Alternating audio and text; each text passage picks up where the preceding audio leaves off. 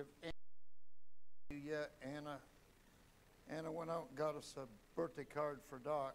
So I get everybody to sign it, and Sunday we'll get the rest of the folks to sign it, and we'll we'll get it in the mail down to Mississippi.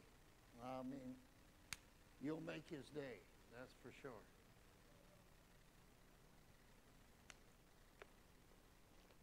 Thank you, Lord.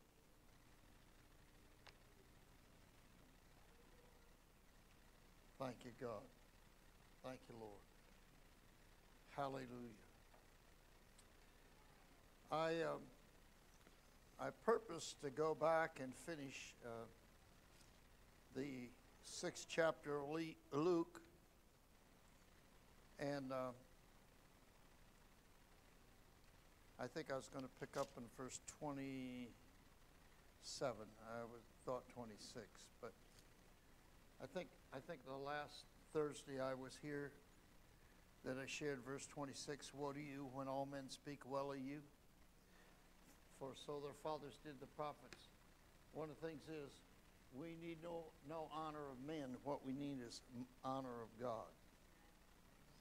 And we need the voice of God to witness to us. So, anyway, during, when I walked towards the back during worship, I heard the Lord speak to me, and He gave me a word. A cra- silly, silly word, you would, wouldn't do it, but uh, turn with me to uh, Acts chapter 17, and uh,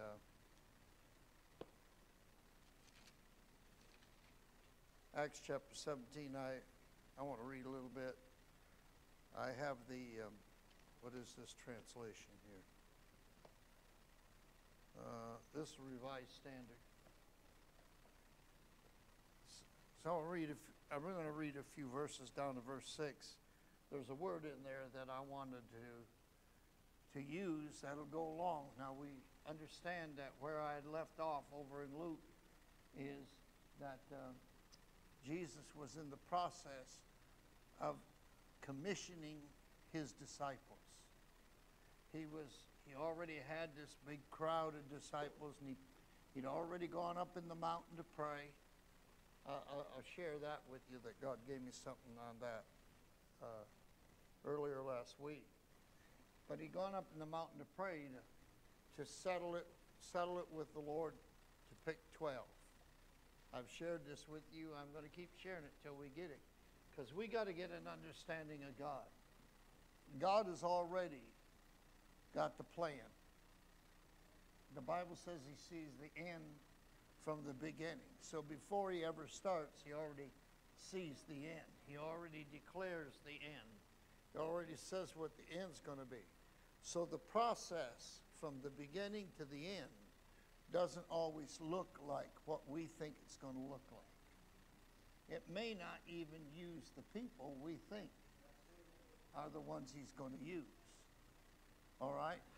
One of the things that we're living through at this present time was uh, I don't know how many prophetic words, but two people I know, Lance Wallnau and, and uh, Jeremiah Johnson, both who didn't know one another.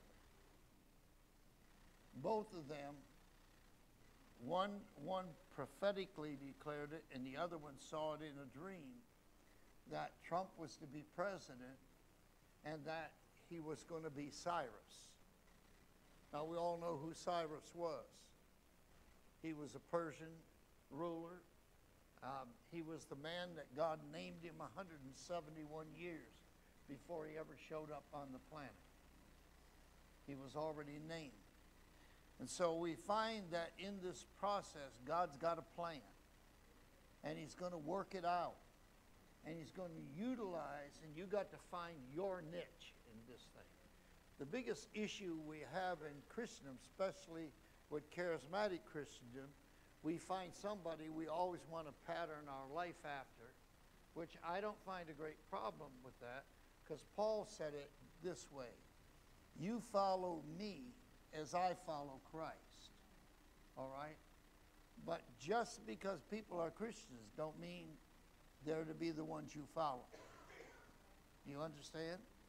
You follow them as, as and you have to find your own way in God. You got to find what God's saying to you. And so we have this little story here that goes along in commissioning those who got who God has already picked out. We know he picked 12 and one of them was the devil. He had a specific job to do. Are you listening? Judas's job was specific. The Bible says he was the son he was chosen to be the son of perdition. Okay? So that's what he was chosen to be. So somebody had to be a traitor. Somebody had to somebody had to be the one. And so he was chosen. It had to be one of the close crowd. So I want to go back I want to go further a little bit and read this point out of Acts chapter 17. Okay? They're at Thessalonica. Remember what it says later on? The people in Berea were more honorable than those in Thessalonica, for they searched the scriptures. Are you listening? And Thessalonians has got us in trouble over and over and over again. All you got to do is read the first chapter of Fourth of Fourth Thessalonians, read that fourth chapter, and people have gone crazy over that thing because they they're all in this escape mindset. Because the flesh wants to get out of the heat every chance it gets. Say, God said by his prophet, I'll choose you out of the furnace of affliction. Say, I don't like that. None of us do. But God knows how to fashion us. He knows how to get the purity out of gold. He knows how to get it where He wants it. Okay, so I got to stop talking and, read this, all right? Now, when they had passed through Amphipolis and Apollo, Apollonia, they came to Thessalonica where there was a synagogue of the Jews. And Paul went in as was his custom. Say his custom was to do a thing, but his calling was something else. As was his custom. And for three weeks he argued with them from the scriptures. Now, we live in such a PC day that you never could have an argument because everybody wants to run from an argument. But the Bible here says that Paul argued with the Jews for three weeks over the scriptures. Okay, I want to stop here for a minute. There's a great movement in the church world today that's trying to do away with the God of the Old Testament. Are you listening? They're trying to do away with the God of the Old Testament, trying to do away with the rules and the regulations of the Old Testament, trying to do with uh, do away with all of what God had men had moved on men and women the, by the Holy Ghost to write the Old Testament. The New Testament, and, and you got to listen to me a little bit, all right?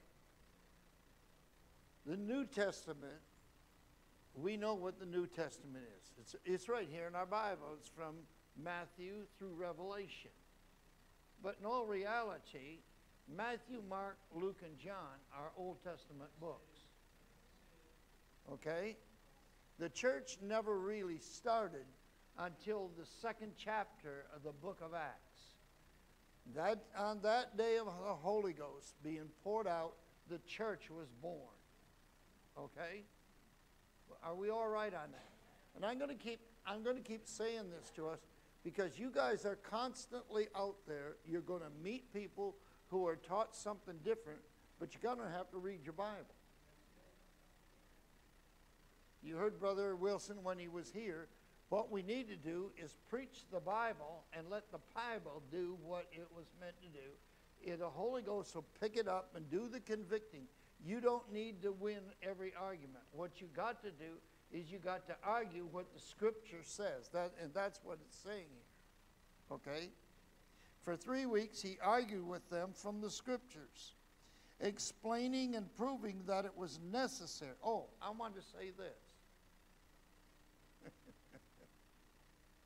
Has anybody ever, have you ever looked up to see how many times the New Testament was, in the New Testament lifestyle or the reading of the New Testament, that the Old Testament was quoted?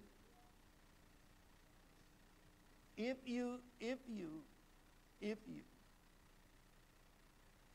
include the Gospels, 855 times the Old Testament is quoted and used as an argument to prove that Jesus is real.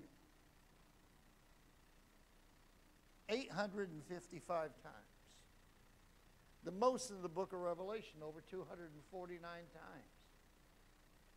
Now, most churches talk about the book of Revelation as the book of the future. No, the book of Revelation is a book of eternity. It's a picture and a revelation of Jesus the Christ, the eternal one. All right, now let me let me go on and read it. I, have made all them statements, so let me go on and read here. And Paul went in, as was his custom, and for three weeks argued with them from the scriptures, explaining and proving that it was necessary for Christ to suffer and to rise from the dead, saying, This Jesus, whom I proclaim to you, he is the Christ. In other words, there's nothing else to look for. Are you listening? Some people want to meet angels. And the Bible says that God had not turned the age to come over into the hand of angels, but He's turned it into the hand of men. Say men. That's not masculine, mean just men, masculine but it means this corporate man, this corporate son, this corporate one, God has turned everything in the age to come over into the hand of man. Have you all got that? But he also said in Jeremiah 31 and 22, he said this I'm going to do a new thing in the earth. He said, The new thing that I'm going to do is he said, I'm going to take a woman and she's going to encompass a man.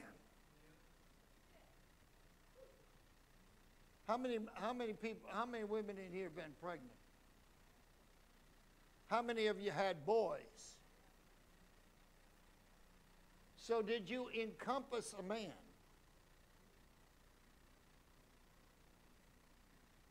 And so, this is the picture that the Lord gives us for the church. That God's plan in His new thing. Say a new thing. See, we, we, we got to understand God is revealing Himself on an ongoing basis. That's what the book of Revelation is. And in the unveiling of that of who He is, He's trying to fit us into His likeness. And how many want to be in charge of something and have have people working for you but they're always doing their own thing. You know, you give them directions, and they don't like the way you give them directions. Oh, is that that's like pastoring a church? Oh God. Everybody's got their own mindset. But what God wants, He wants a people that He can form and fashion. The Bible says, till Christ, till Christ be formed in you. He's not interested in Christ being formed out there somewhere. That, that one up there is already done. The Christ that he's forming is the one that's inside of you. Are you listening? Okay. Now listen to this. And some of them were persuaded and they joined Paul and Silas. Oh, Sister Fran and I had this discussion the other day. This, this is not too PC. How many remember the argument that Paul and Barnabas got into? Are you all listening? That wasn't too PC, I don't think. How many remember what it was over? It was over Barnabas' nephew who was a quitter. He quit the, he quit the battle. How, would you, how, many, how many want to be in a foxhole in a battle with somebody who's a quitter? I mean, you're in there trying to get the enemy, and he's waving a white flag. So John Mark was a quitter. But Barnabas, y'all remember what Barnabas' name is? Barnabas' name means the son of a consolation. In other words, he's one of those guys that's always trying to make up peace and make things get along okay and compromise. You got that? The kind that never has an opinion of his own.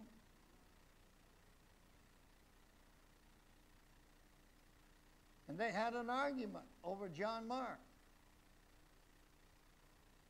And guess what happened? Barnabas left for Cyrus, Cyprus, with John Mark, and you never hear of Barnabas again in the Bible.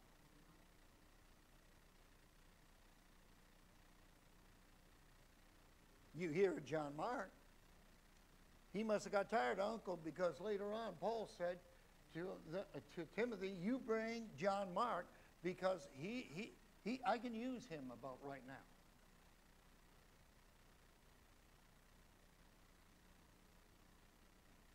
I think maybe he learned that Uncle Barnabas wasn't really what you want in a battle. So here we go. I got I got to read on here a little bit. And some of them were persuaded, and they joined Paul and Silas. That's who God, uh, who Paul had to get when he had to get rid of Barnabas.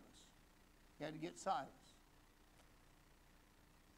And as it did a great many of the devout Greeks, and not a few of the leading women. Thank God for leading women that got enough guts to say, listen, this is a real deal, man. I'm going after this.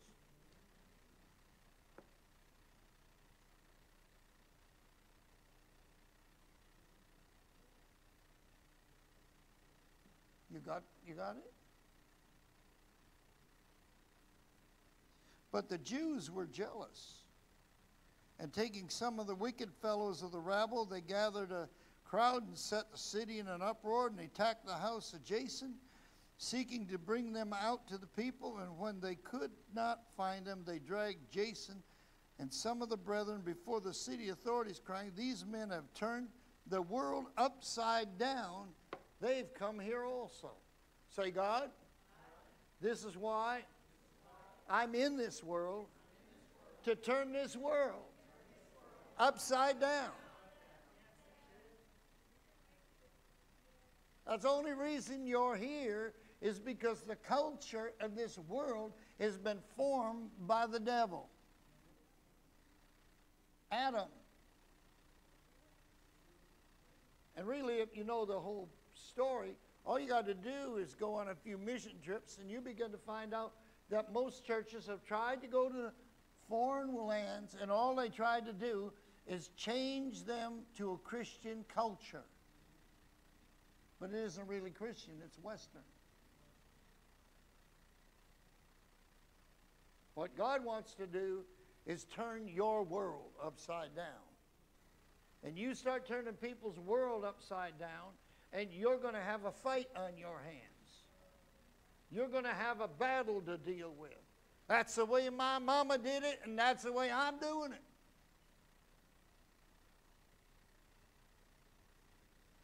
If it was good for my mama, it's going to be good for me.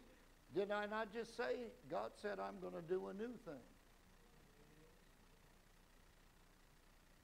Maybe something mama knew nothing about.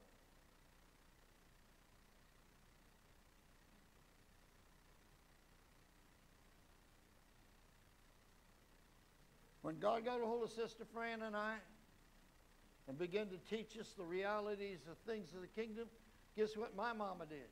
She tossed us out.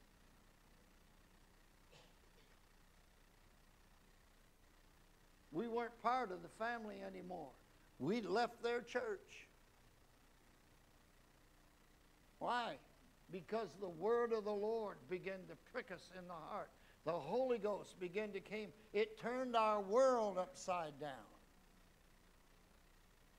And God wants to turn your world upside down. And you got to come and face the reality of the fact that Jesus wants to train you so that when the hard times come, you got what it takes to move forward. Because I'm going to tell you what, if you've never been in a battle, you don't know what it is to get to the other side.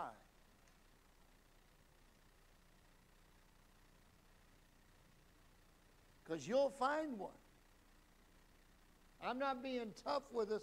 I'm, I'm, I'm back here with these, I'm going to go back there to those 12 disciples.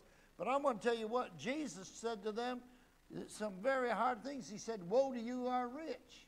We live in a world and all they're concerned about is getting a good job and a good retirement and live a soft life.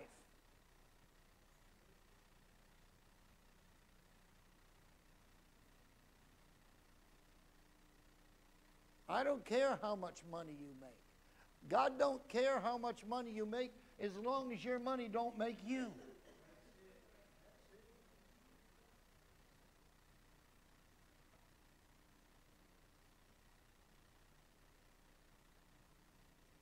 So let's turn back to Luke. How much time I got here? Let's turn back here to Luke chapter 6 and see if we can finish up a little bit. Luke chapter 6.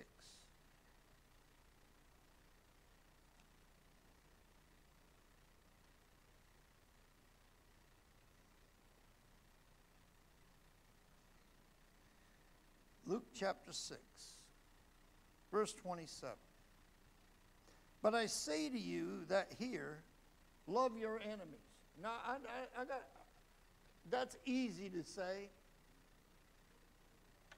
That's, that's easy. You, you know, it's easy to spit those, those words out. But, but how many of you have really had a battle where you've had some real deal enemies and you got to love them?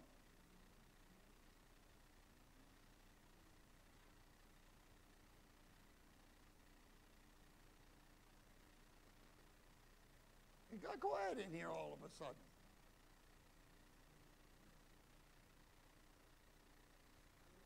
I used to think years ago that I had a target on my back because I kept feeling that knife going in there.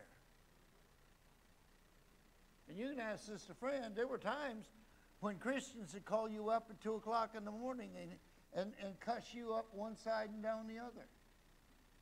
But I still had to love them.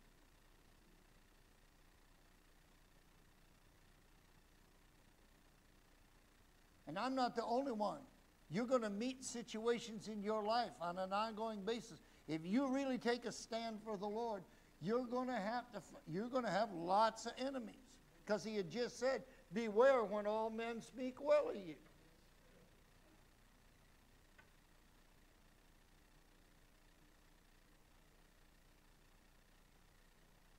Beware when they're always patting you on the back.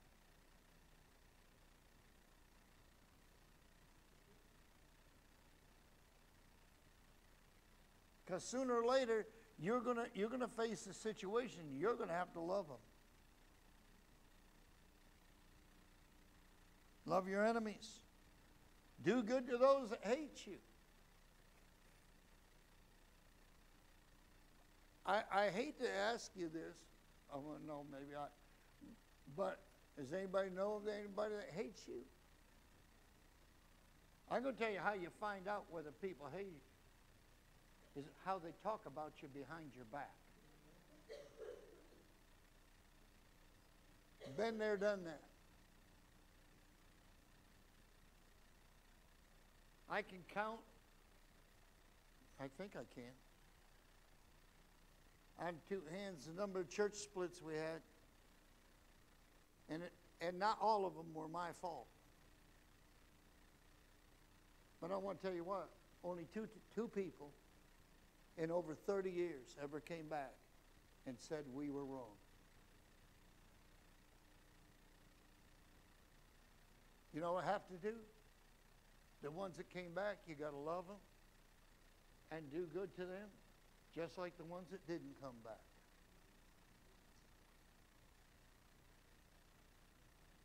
Why are you talking like this, Pastor? Because I'm going to tell you something. You haven't seen the day of the Lord. What is the day of the Lord going to be to you?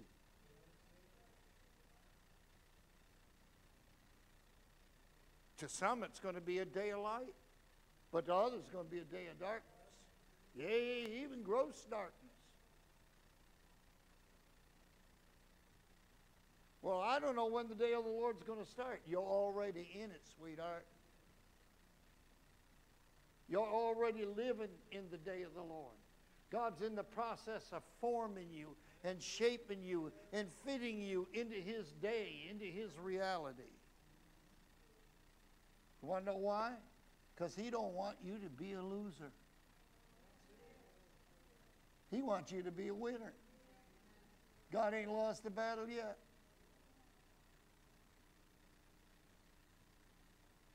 Let me tell you something.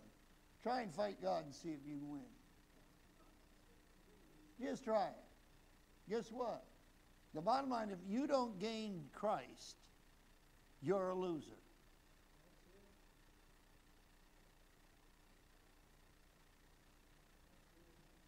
Help me, Lord. I got, I got to go on. Bless those who curse you. Pray for those who abuse you. Oh my God. Lord, why are you, why in the world are you giving us all of these things to do? You know, you just don't understand what it's like out there, Lord. Yeah, he does.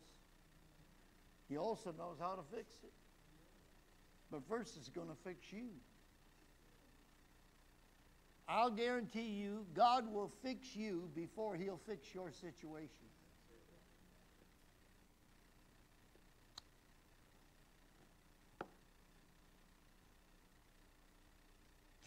To him who strikes you on the cheek, offer the other one. What do you think you got the other one for?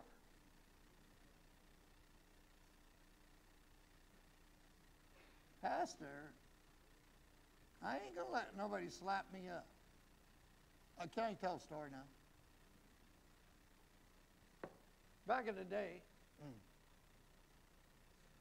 when my kids were teenagers, I think my my oldest guy was a senior in high school, and and we'd been in church all day and in Detroit. Stayed for question and answer period. We came home late. We just getting in the house. All of a sudden, the front doorbell rings. And somebody opened the front door, and the next thing I know, I hear the F bomb going off in the in the front room, and I was in the back. And I, I come through the living room, and here's this guy, and he's mad at the world. And he said, uh, I said, you better just turn around and leave. He said, I got a black belt. He said, I'll tear your head.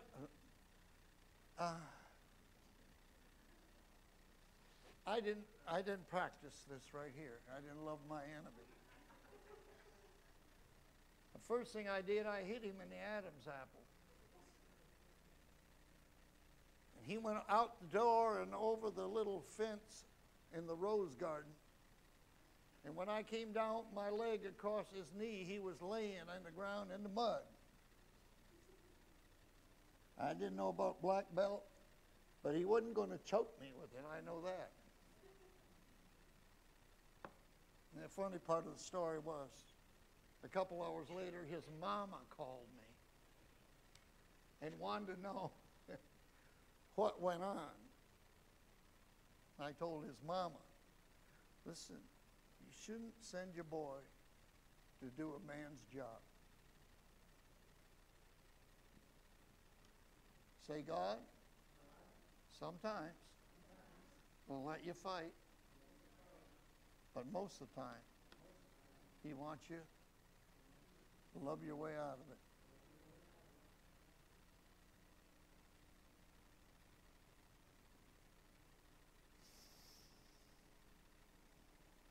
To him who strikes you on the cheek, offer the other also.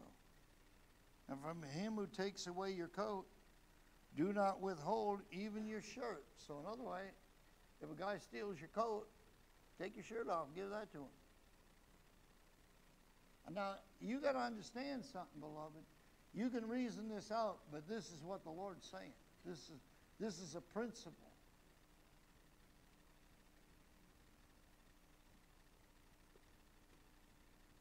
Give to everyone who begs from you, and of him who takes away your goods, do not ask him for it back again. There's, there's some hard sayings. You, have you all read this part of the Bible? Huh? Have you all read this part of the Bible? This isn't this isn't uh, charismatic, Holy Ghost, happy-go-lucky. Uh, everything's going my way, you know. Uh, I'm, I'm, I'm going to Disney World. Oh. That isn't what this is. This is tough everyday reality. And this is where God is trying to deal with us.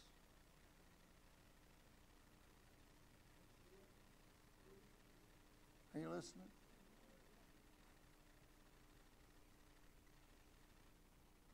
Give to everyone who begs from you, and of him who takes away your goods, do not ask him again.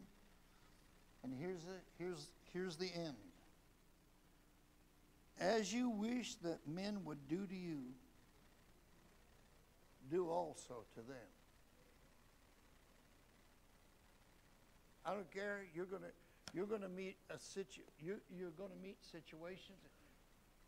And listen, I know I'm talking to the choir, but you're gonna meet situations in your life where you're gonna have to stop and think before you do anything and see how you would want to be treated in any given situation.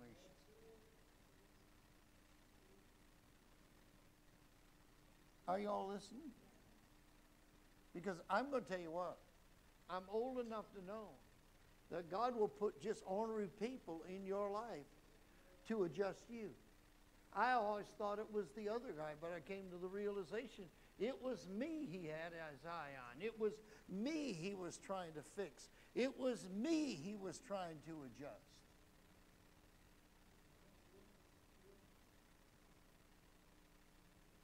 You're awful quiet. I didn't write this book. The Holy Ghost did. And He's the same Holy Ghost. It's trying to write these characteristics in each one of our hearts, in each one of our minds, trying to bring us to whatever He wants. I, I, will read the rest of this and then I'm going to quit, okay? If you love those who love you, what credit is that to you? Huh? He asked the question. If you just love those who love you, how's that going to credit you? For even sinners love those who love them.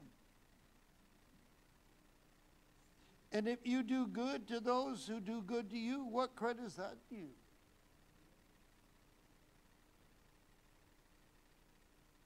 Even sinners lend to sinners to receive as much again. But love your enemies. Do good, lend, expecting nothing in return and your reward will be little. Be what? Your reward will be great, and you will be sons of the Most High. You'll be what? What's God building? Sons. He's building sons.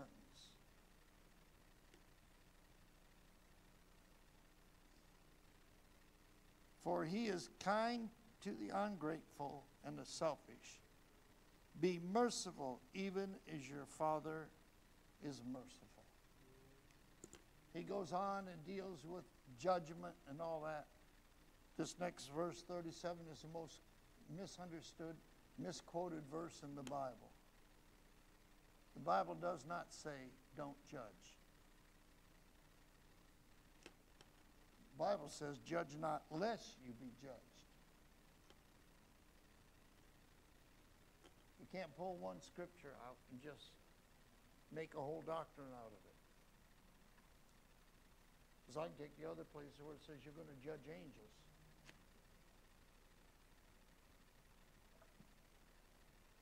Better translated word there is condemn not. Because what we condemn today may have an opportunity tomorrow to repent and return. Can I say that again? What you and I condemn today, God may give an opportunity to repent tomorrow. Are you listening? Shall we stand? Father, help me. Father, I, I, I tried to share your heart. So, Holy Ghost, I just ask you to speak to each one of the people that's set before me today. And Father, you said that you give the hearing ear and the seeing eye. And grant to each and every one, Lord, the hearing ear and the seeing eye. And Father, let your word, as your word declares, let your word, may it be absorbed in the innermost of each and every one, Father, that it may make them sons of the Most High. Father, let the love of God, the matchless love and empowerment of God, be their portion tonight, we pray. Father, that they may go forth tomorrow and the day after and the day after that, Father, in the wisdom and the knowledge and the understanding of the Most High God. And everyone said, said what?